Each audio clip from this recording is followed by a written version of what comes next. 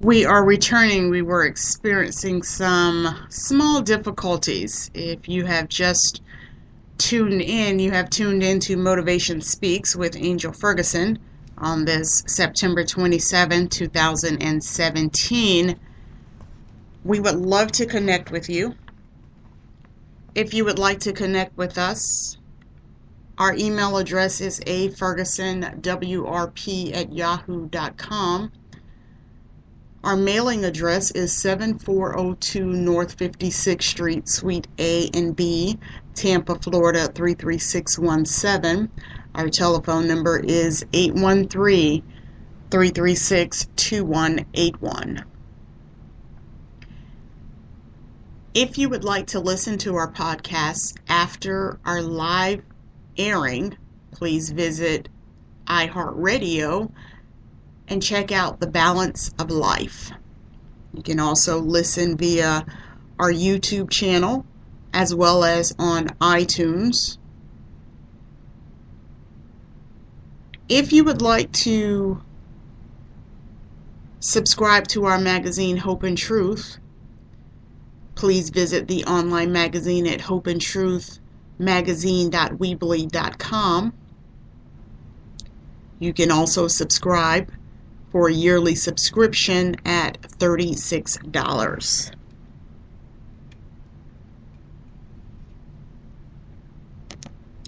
Women United in Praise, stepping into my new season, Women of Destiny invites you to come and celebrate who you are.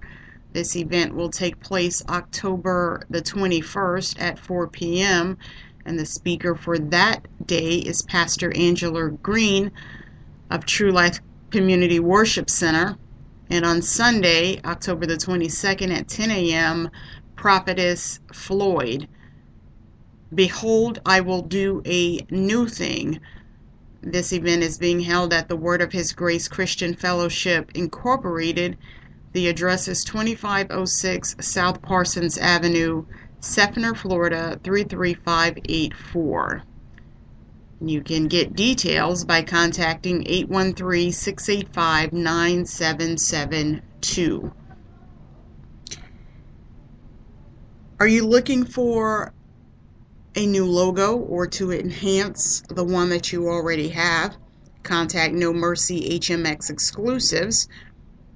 The website is www.nomercyhmx.com coming soon will be their online store. The email address is jamesf at nomercyhmx.com. Today, while we are coming live from our bookstore, Motivation That Inspires, we are taking a look at the book by Reverend Arthur T. Jones, When You Don't Know What to Do. What should you do? And I am really enjoying this book. The first two chapters are in a storm and don't know what to do. Background scripture is Matthews 14 24 through 33. And I can certainly identify with what I have read in this book when we reach points in our lives where we question, doubt, our faith. We waver because sometimes the storms in our life are just so heavy.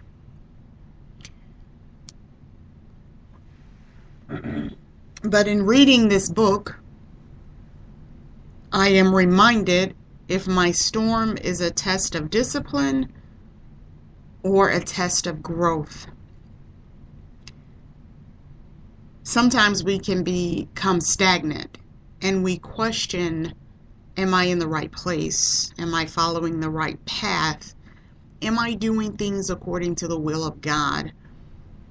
Your stagnation could be because of discipline, or your stagnation could be because it's a time for you to learn and become better equipped for what God has ahead of you that stagnation could be because right now you are not ready for what He has coming up next. We must not lose heart or faith during this time, but stay focused. Keep our eyes on God. Confess to Him how you are feeling. And as we dig into these two chapters, Peter said, Lord, save me.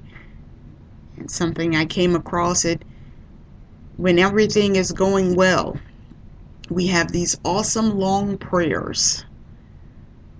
But in the time of distress, you can only say the, the thing that comes to you. And, and Peter said, Lord, save me. He did not wait until he was drowning or near drowned. As soon as he felt himself begin to sink, he yelled out, Lord, save me. And if you would like to purchase a copy of When You Don't Know What to Do, What Should You Do, we have the book here at our bookstore, Motivation That Inspires Bookstore. The price for the book is $10. The text for this message is from Matthews 14 24 through 29. But the ship was now in the midst of the sea, tossed with waves, for the wind was contrary. And in the fourth watch of the night, Jesus went unto them, walking on the sea. And when the disciples saw him walking on the sea, they were troubled, saying, It is a spirit, and they cried out for fear. But straightway Jesus spake unto them, saying, Be of good cheer, it is I, be not afraid. And Peter answered and said, Lord, if it be thou, bid me come unto thee on the water. And he said, Come. And when Peter was come down out of the ship, he walked on the water to Jesus. Now, one of the sections, place your confidence in him. Here, Peter teaches us that when you're in a storm and don't know what to do, the first thing you do is place your confidence in Jesus. In a storm, particularly, confidence can be so easily whipped, depleted, and shattered. Therefore, it becomes essential for our trust and reliance to be intact because the storm is designed to test us to the limit. That is so very true. If your storms aren't testing you, evaluate where you are. Because those tests, like I said earlier, it could be a test of discipline. They all are a test of discipline, to be honest with you. It could be a test of correction, where we have sinned and God is, is getting us back on track after our repentance. And then that test of growth, getting you to the next level. And it's so very uncomfortable either way because you, you, are questioning Am I in his path? Did I deter? Did I think I could do this on my own? Have I taken credit for, for the things that I know only he can do. So evaluate your tests today. And then it goes on to say is is let us not overlook the fact the reason the disciples were in this storm was because they followed the orders of Jesus. When we follow the directions of God, we are going to be tested our faith, our commitment, our focus, our dedication is going to be tested. Rest assured that as you surrender and as you say, God, I surrender unto you, and I will go where you have me to go, where He says, when, we say, Here am I, send me, when God says, Who shall go, and we say, Here am I, send me, you shall be tested to see if you will hold up and stand to those words that you will in fact go. Because lip service is one thing, but action is another.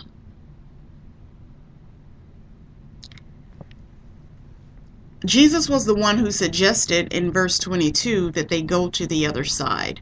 Here, Jesus told the disciples to do something, and they finally did it. And then all hell broke loose. Now, that's a real blow to their confidence. You're in a storm because you did what Jesus said to you. I know I can identify with that, and I'm quite sure you can identify with it when we get an assignment from God. And it's not going to go according to how we think it should go. We just need to be equipped on how to handle it. Because when we get that assignment, we have it pictured in our mind, oh, it's going to go this way. And, and, and because we automatically have the outlook that everything is going to go smooth. We must be tested to prove our faithfulness our level of spiritual maturity. God will test us in these areas. Peter and the disciples disciples were on their way to the other side. Suddenly their ship was in the midst of a storm at sea, and it was commandeered by a boisterous storm. Verse 24 says, They and all their cargo are tossed like wood chips from a horror's axe.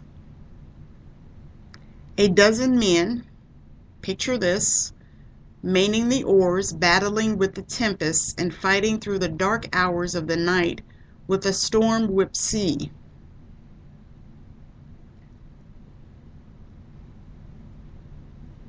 What the writer next describes is they saw death.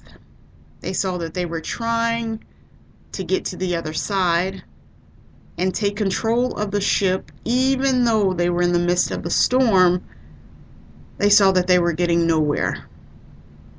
Have you ever been in that place that it seemed like no matter what you tried, it's like you're not getting anywhere? And you question and you ask yourself once again. It's a repetitive question, but we all do it. What am I doing wrong? Am I not following all the directions? Seems I'm not getting anywhere. But I stepped out in faith. I followed the directions of God. God, where what is this assignment? It is in your faithfulness and obedience to do the assignment.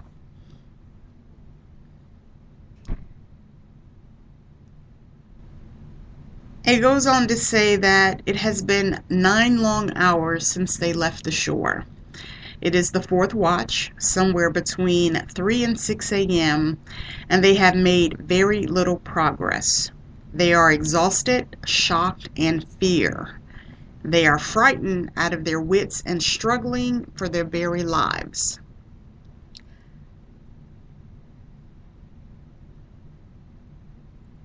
Then, suddenly in verse 26, they see the Master walking from wave to wave towards them across the sea. God used the very waves that had threatened the disciples' lives as pathways for the Lord's feet. And I'm skipping over sections of this book. Here we find that now Jesus is walking on the water towards the ship, towards his disciples. And for some reason, they did not recognize him. In verse 26 says they take him to be a ghost and they cry out cry out in fear. Why do they cry out in fear? Their mental and physical condition is very important at this point. They were physically exhausted, mentally drained, and psychologically abandoned. Because remember, in this text, Jesus told them to go to the other side while he dispersed the, the, the multitude of people. So you can imagine the thought process. He sent us to go to the other side, and now we're going to die. The thought process probably came in is is he trying to get rid of us? Why did he send us? Why didn't he come with us? All kind of things will go through our minds in the midst of our trials and tribulations. But we must remind ourselves that he said he will never leave us nor forsake us. And even in the storm, their thoughts were saving the ship and, and saving themselves, actually. But Jesus was all already on his way in the capacity of a savior. He was already on the way. He never forsook them. He never he never left them unattended. Even when their eyes and their focus were not on him spiritually. It was on the circumstances. He was still watching over them. That's something that we all must understand even though I'm going through what I'm going through, He's still watching over me. Jesus is still making intercession for me in heaven to God the Father. Everything could be going on all around me the wind, the rain, the hail. But He's watching over me. He's already on His way to bring peace in the midst of the storm.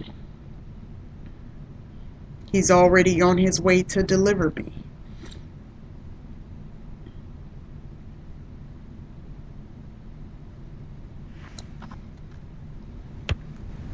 Another area to look at is, is these disciples were spiritually shaken.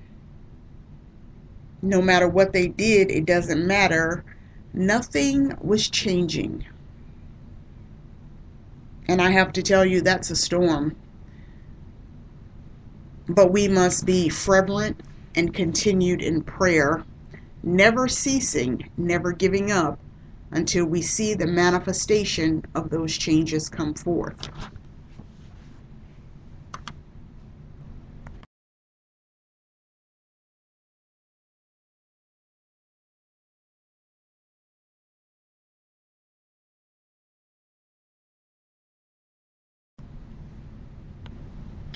If you have just joined us, you've joined Motivation Speaks with Angel Ferguson.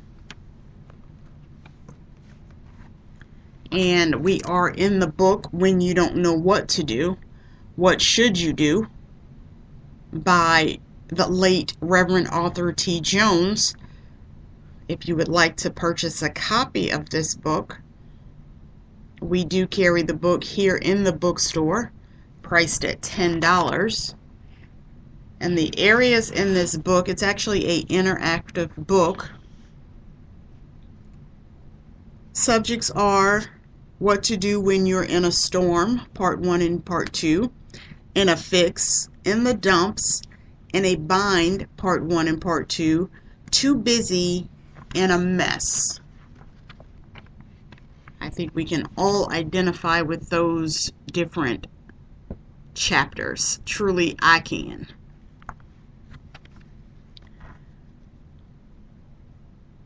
The book goes on to ask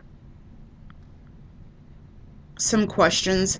Many times Jesus comes to us in a way that makes us dread rather than welcome his approach. Sometimes he comes with demands for us to give up certain sins or certain pleasures that we do not wish to give up right now. Asking for services that we did not wish to render demanding surrenderers that we do not at all desire to make right now. In the guise of great disappointment that wets our faces daily with the sea of tears. Sometimes the approach that God makes upon us and asks of us shatters our confidence. But this is not the time to give up. Jesus' sudden presence on the water pumped up Peter's confidence, yet Peter and the disciple, disciples were not quite sure it was he. So, to calm their fears, Jesus said in verse 27 Be of good cheer, it is I, be not afraid.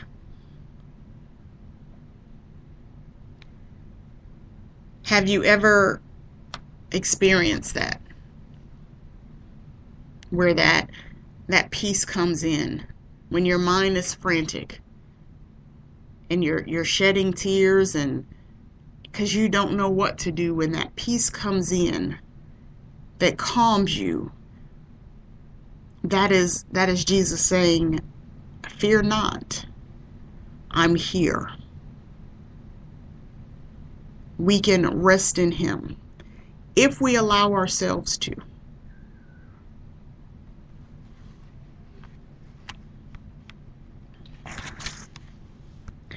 The next section in chapter 1 entrust your confusion to him. And Peter answered him and said, Lord, if it be thou, bid me come unto thee on the water. Lord, if it be thou, bid me come unto thee.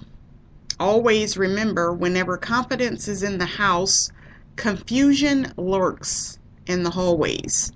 Faith often sometimes renders confidence irrational, so you find yourself having to manage not only your confidence, but your confusion. Why is that? The author goes on to say, because first of all, everything he says may not make sense to us and may not be pain free to us, may not be trouble free to us, and that is confusing because when we go out and, and, and God called me on this on this call and on this journey and we don't think about obstacles. We don't think about struggles. That's not how we start out. We think about, oh, look at this door that God has opened. Look at what He's going to allow me to do. That's what we focus on. But rest assured, there are tests and trials coming within that new level.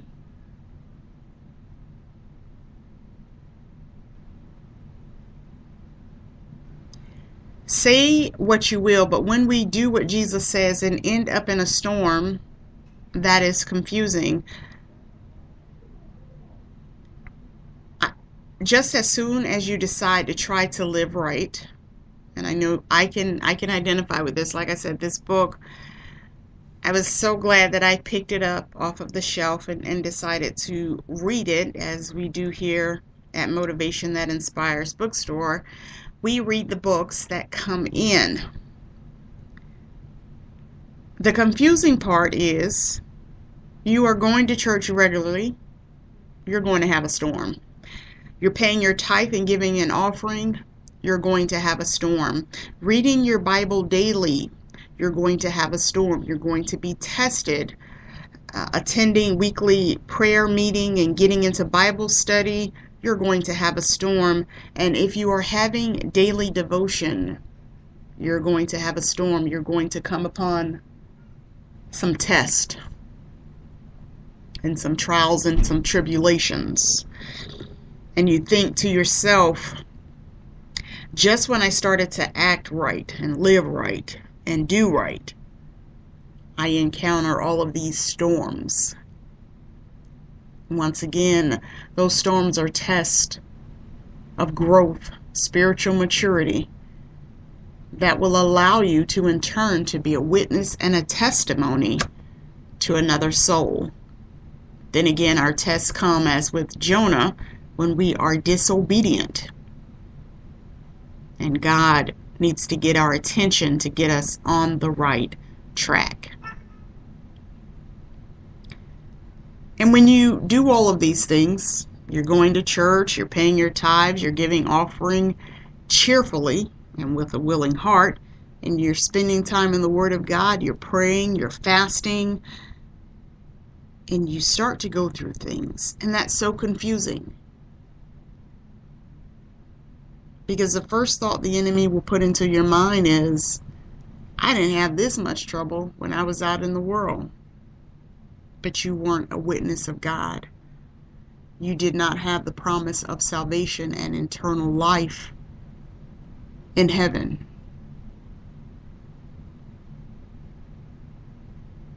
You damaged your body by living a sinful life. So you went through some things.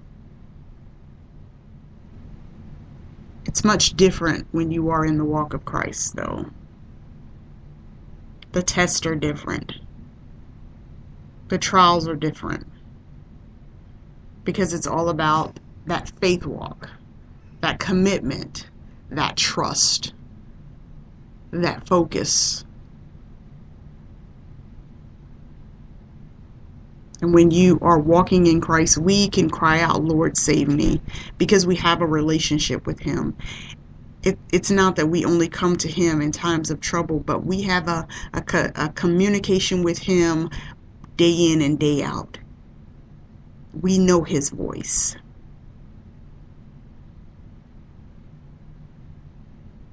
We have done according to the Word of God that He will hear our prayer that he would even hear from heaven for us, that our worship has been accepted.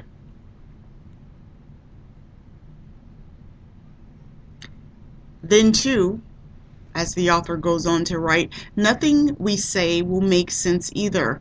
In verses 27 and 28, we encounter the I versus the if issue. Christ says, It is I. Peter says, If it is you. Why did Peter ask if it is you? Didn't Jesus just say, It's me? Why would Peter say, If it's you? I don't know, but it proves that in a storm, whatever we say will make little sense. It proves that in a storm, what we say and how we feel are in two very different worlds what I like about this book, it, it's reality. It doesn't sugarcoat or hide behind or pretend, and the writer is transparent by putting himself in scenarios and giving examples of his storms. Today we are looking at when you don't know what to do what should you do?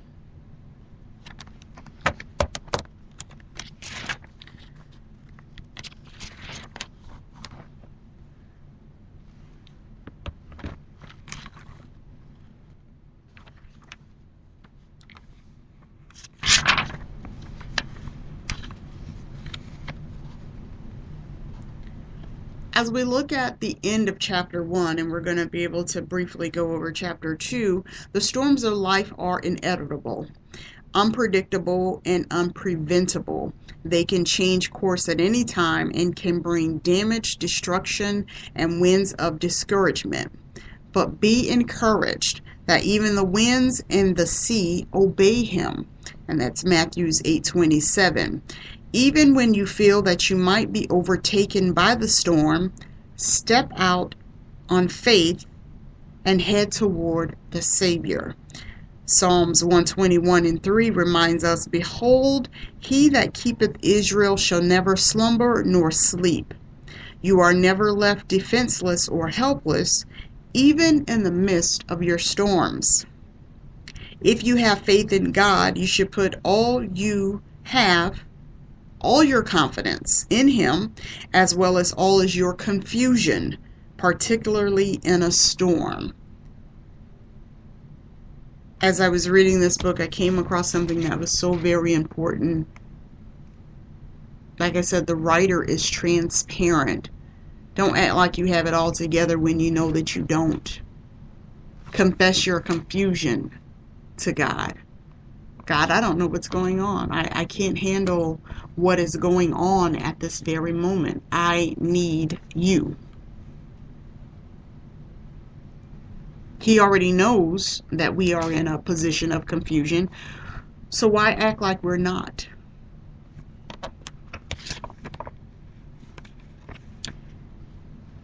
It is no secret that the believer's faith is put to the test in storms. Christ also uses storms to assure the believer he is still in control and all powerful.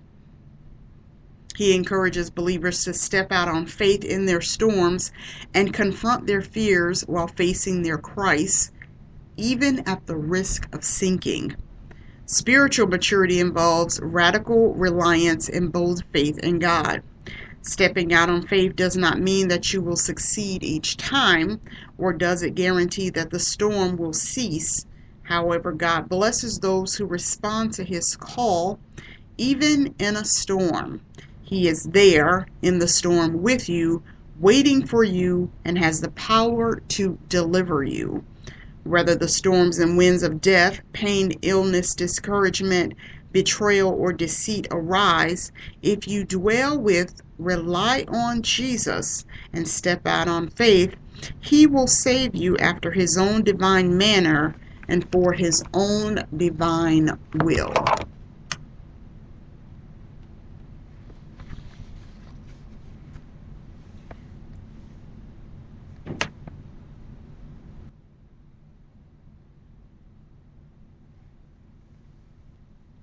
And as we are looking at chapter 2 in this book, What to Do When You Don't Know What to Do, we are still looking at Peter and some of the highlights. Place your confidence in Him. The Bible speaks of two types of storms storms of correction, when God disciplines us and storms of perfection when God helps us grow. I'll go over those again. Storms of correction when God disciplines us, storms of perfection when God helps us to grow. Jonah, as I mentioned earlier, was in a storm because he disobeyed God and had to be corrected.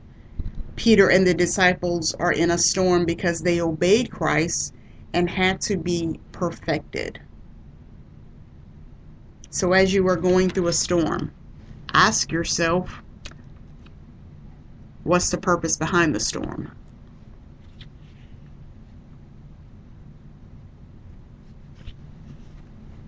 Am I in a storm of correction or am I in a storm of perfection?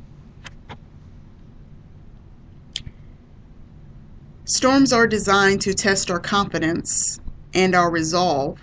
So, placing your confidence in God is so very important. Storms will try to whip, deplete, and shatter our confidence. The disciples' confidence was torn in this instance. They were terrified, tired, and looking death in the face. However terrified they were, in the distance they could see the Master walking from wave to wave.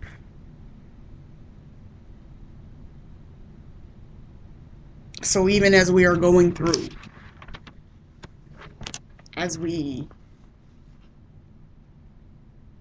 learned and went over about a month ago in the book of Habakkuk, we are to see the storm, see past through the storm, then beyond the storm.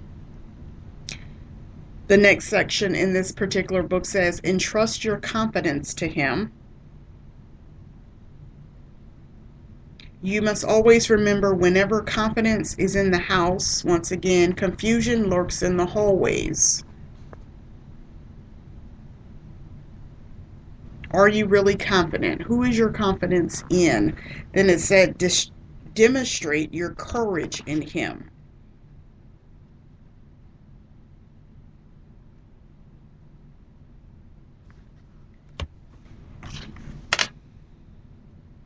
There were all kind of distractions around Peter. God called him to him. Come on. And Peter began to walk on the water. But he took his eyes off of Jesus and looked at the surrounding waters around him. His mind, no doubt, flashed back to what had just transpired through the night on this ship being tossed with the cargo, and that no matter what they had tried, it had failed. And we ourselves, we do that.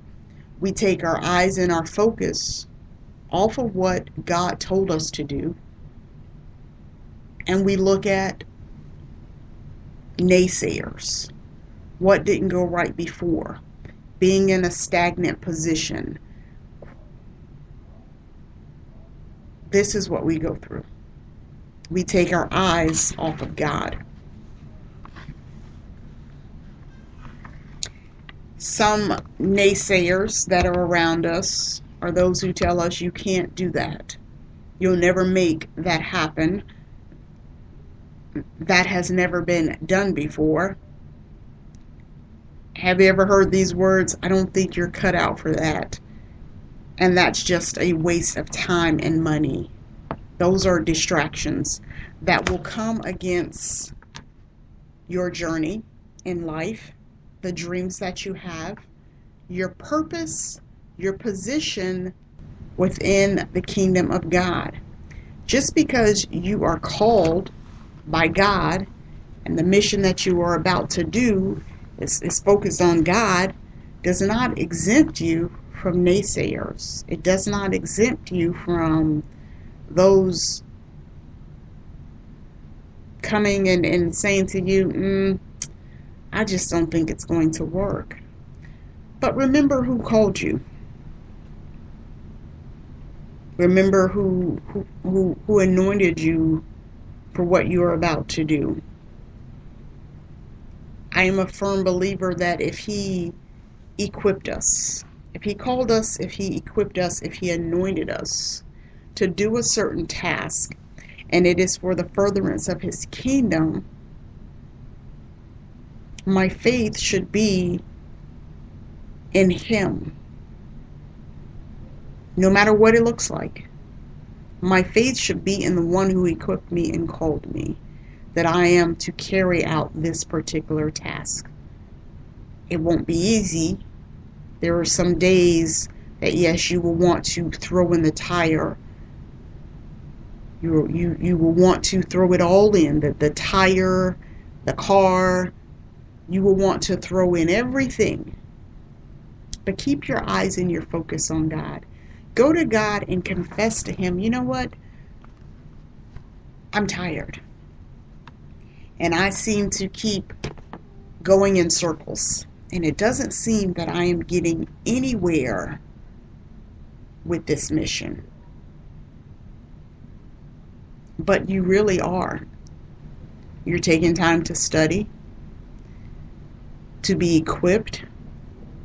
Your prayer life has improved. You're listening to God.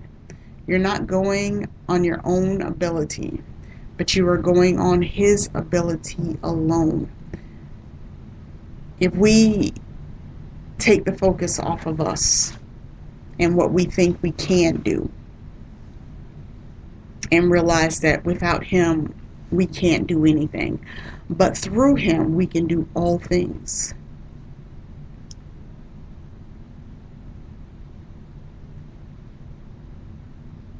just reading a few chapters in this book, I needed those reminders and those words of encouragement. And sometimes we will be in a place that we are separated from everyone because God wants to get our attention. And we are going to need that encouragement. And you have to get into a place that you will sometimes have to encourage yourself. A matter of fact, always be in a position, have that mindset that I'm going to have to encourage myself. Because picking up the phone and talking to someone is not an option. But getting in prayer, getting in the Word of God, and finding spiritual words of encouragement through reading material is your encouragement. it is there to help pull you out of that stagnant, sorrowful position that we can push ourselves into.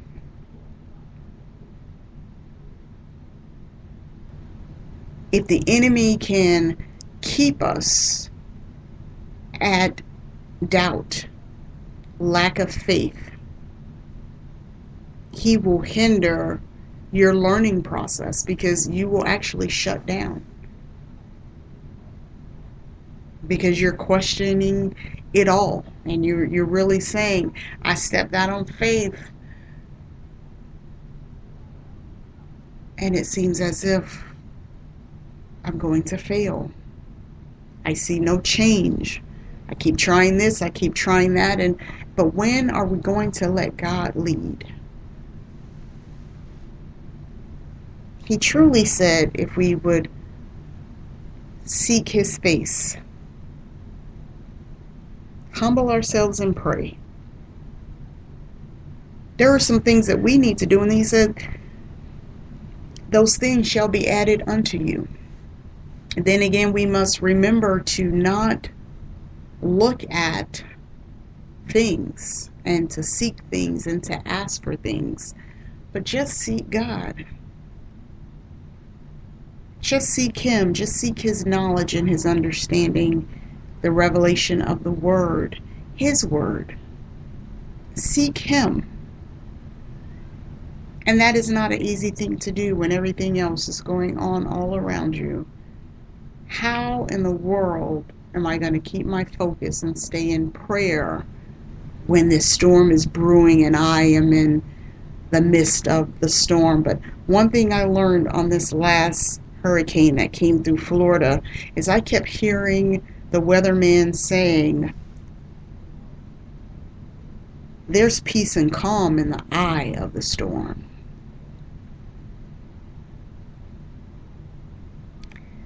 It's the winds and the rains and the outer bands. So keep your eye on Jesus. He is the eye of the storm. He is the controller of the storm.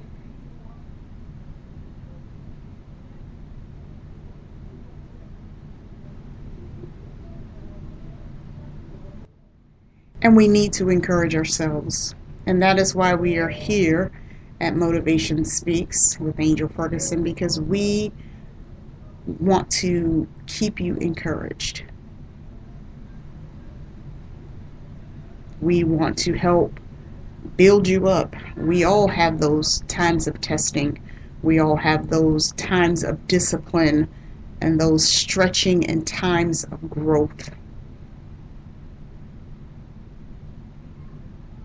But we are here to lift you up in prayer and to encourage you along your Christian walk. That the things that you take in in your spirit which are of God, shall overflow into all areas of your lives. We pray that nothing is lacking in your life, but seek ye first the kingdom of heaven and all his righteousness.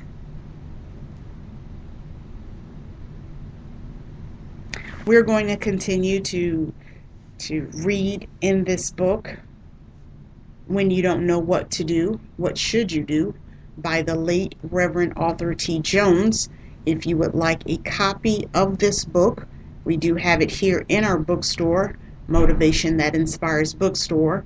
The price of the book is $10 each. We can always mail you a copy of the book, or you can stop by the bookstore at 7402 North 56th Street, Suite A and B, Tampa, Florida 33617 to purchase a copy. And as we close each podcast, stay encouraged, encouraging others along the way.